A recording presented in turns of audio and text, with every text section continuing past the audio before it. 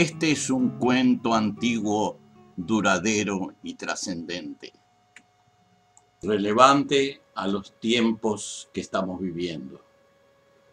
Trata de una vieja historia, pero a diferencia de otras viejas historias, conserva una actualidad sorprendente. Es el cuento uruguayo de los árboles, desde los principios a la actualidad.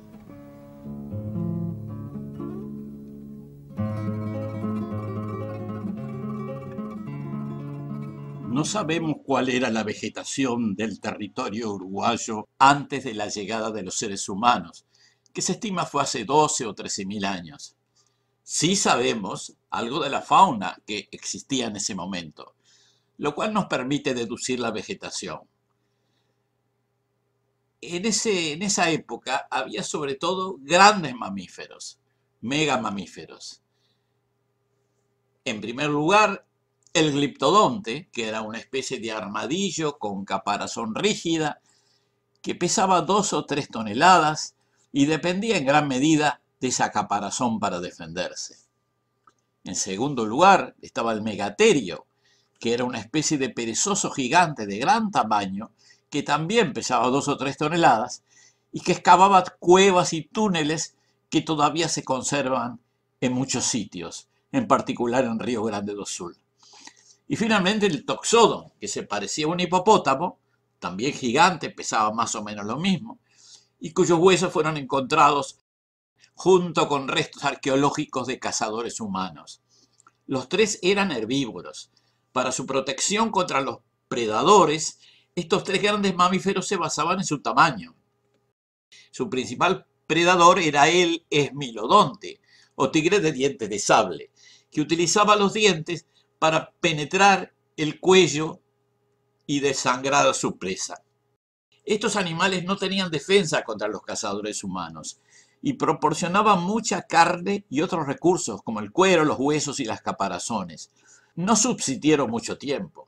En unos pocos siglos, tal vez mil años o incluso menos, después de la llegada humana, estos animales se habían extinguido la presencia de estos megamamíferos en importantes poblaciones nos muestra que aquí había vegetación abundante, incluyendo bosques densos y vegetación de parque.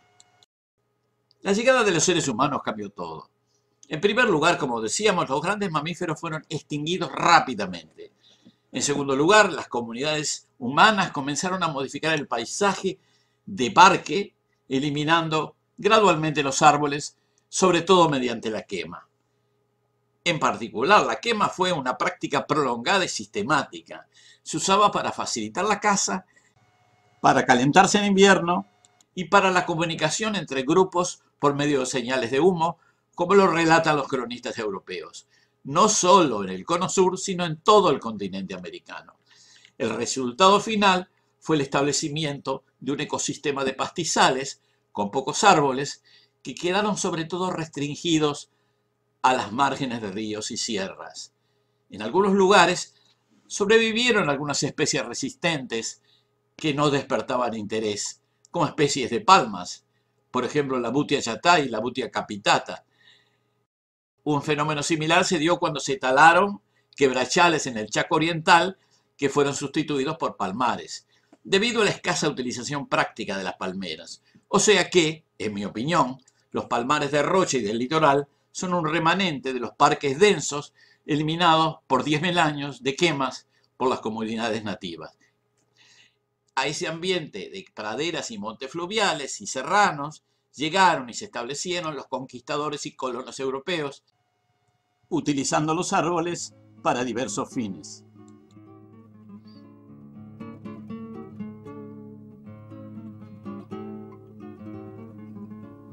Era un territorio llano y ondulado de praderas recorridas por rebaños de venados, ciervos y carpinchos, piaras de pecaríes y muchas bandadas de aves sobrevolando los pastizales.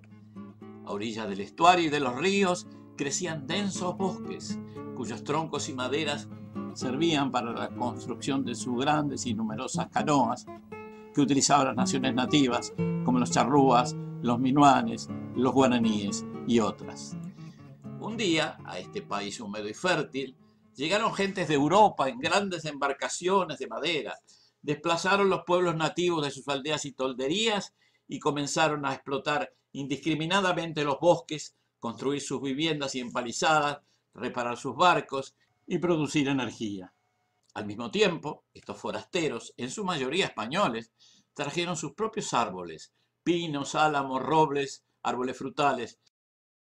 Sin embargo, a medida que disminuían los montes nativos, desde fines del siglo XIX, se instalaba un nuevo árbol, de origen australiano, que había sido importado por los ingleses, quienes se habían establecido en el país en el siglo XIX para organizar y administrar varios servicios públicos, como los servicios de agua, los ferrocarriles, etc. Ese árbol era el eucalipto. Muchos parques y avenidas suburbanas del Montevideo en expansión fueron plantados con ese árbol. El Prado, Lesica, Carrasco. En el interior del país también se comentó plantar eucalipto, para abrigo de ganado y para leña. En realidad, el eucalipto era un árbol milagroso. Crecía rápidamente, daba sombra, leña, embellecía el paisaje urbano y rural. Sus hojas tenían propiedades medicinales. Al mismo tiempo, los uruguayos empezaban a ocupar sus atractivas costas arenosas, estuáricas y oceánicas. Para poder instalarse entre las arenas móviles, decidieron cubrirlas con extensos pinares que terminaron eliminando prácticamente todos los paisajes de médanos de las costas. La crisis energética de la guerra mundial en la década de 1940, las necesidades crecientes de papel y los enfoques desarrollistas de los 60 llevaron a plantar extensas superficies arboladas, utilizando los árboles en boga, los pinos europeos y los eucaliptus australianos. Todos se olvidaron del lapacho, del laurel y de tantos otros árboles nativos que habían prestado utilidad a las comunidades humanas por milenios. La caja bancaria tal vez constituyó la iniciativa más audaz de este proceso de expansión forestal. Para capitalizar sus ingresos, la caja bancaria y luego también la caja notarial comenzaron a plantar eucaliptos y pinos en varios sitios del país, especialmente cerca de la estación de AFE del departamento de Paysandú, el llamado Pueblo Viejo, que dio en llamarse Piedras Coloradas. La aparición de un pueblito forestal en un mundo ganadero implicó transformaciones económicas, sociales y culturales que fueron laboriosas y a veces traumáticas. Con todo, las poblaciones de la zona se fueron adaptando a las nuevas condiciones. Alrededor de las plantaciones de las cajas y otras empresas, se desarrollaron pequeñas comunidades prósperas como Algorta, Orgoroso y la propia Piedras Coloradas. Una veintena de años después, recién salidos de la dictadura, los uruguayos decidieron embarcarse en la empresa de utilizar parte de sus suelos, que consideraban menos productivos, para promover plantaciones forestales, especialmente pinos y eucaliptos. Subsidios, exenciones impositivas, préstamos internacionales, recursos nacionales y apoyos financieros fueron utilizados para lograr la expansión rápida de los bosques artificiales. Al cabo de 30 años, hoy hay un millón de hectáreas plantadas, un 6% del territorio del país. Esas hectáreas están cubiertas de árboles productivos, en particular eucaliptos y pinos. Aparecieron varias transnacionales que comenzaron a invertir en las plantaciones subsidiadas y tierras baratas de este pequeño país austral, verdadero paraíso de oportunidades. Primero fue Shell, luego los españoles de Ence, Eufores, los chilenos de Arauco, los estadounidenses de Weyerhausen, Colombade y en las últimas dos décadas los finlandeses de Bosnia y los suecos de Stora Enso. Al oeste del país se plantaron principalmente eucaliptus.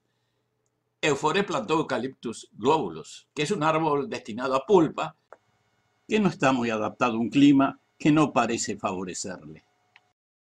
Bosnia y Forestal Oriental plantó sobre todo clones de Eucalyptus grandis que crecen con una velocidad increíble y una regularidad pasmosa. En el este y centro del país también se plantaron eucaliptus. En el noreste, Colombade había plantado sobre todo pinos para la producción de aserrados y tableros de maderas conglomeradas. Durante varios años se exportaron los troncos, chips, tablas y tableros de esta producción maderera del noreste del país. Y un día llegó la celulosa. La gran cantidad de madera producida en los campos hizo económicamente rentable la instalación de plantas industriales para producir pulpa de celulosa. Se establecieron dos grandes plantas para producción de celulosa, una en Fraiventos por parte de Bosnia, ahora rebautizada UPM, y otra en Conchillas por la empresa Montes del Plata, con capitales escandinavos y chilenos. Se invirtieron algunos miles de millones de dólares. Se crearon miles de puestos de trabajo se comenzó la producción y la exportación. Quienes se oponían señalaban el peligro que estas plantas representaban para el medio ambiente, supuestamente envenenando las aguas del río, la atmósfera y el suelo. La discusión se vio el tono. En un bando, los sucesivos gobiernos y la casi unanimidad de los sectores políticos del Uruguay, y en el otro, algunas organizaciones sociales, originalmente de Argentina, pero también sobre todo últimamente de Uruguay. En la actualidad hay claramente dos visiones opuestas sobre el modelo forestal. Un Uruguay cubierto de árboles iguales, clones uniformes, ejército de árboles invasores que se van extendiendo sin que pueda evitarse, eliminando la biodiversidad natural. Los suelos se esterilizan, los manantiales y pozos se secan, las nuevas plantas industriales contaminan los ríos, afectando la pesca, el turismo, la salud. En fin, la catástrofe. Por otro lado, un Uruguay destinando tal vez el 6 u 8% de sus suelos a la plantación de árboles con fines industriales, sobre todo producción de pulpa y en mucho menor grado de tablas, tableros, papel y otros productos madereros. Así como desarrollando sistemas silvopastoriles y agroforestales asociados, aprovechamiento óptimo de los recursos naturales, un futuro próspero. Y ahora se propone y se construye una segunda planta de UPM, una tercera planta de pulpa en Uruguay, aún más grande que las anteriores, localizada en el Río Negro cerca de Paso de los Toros.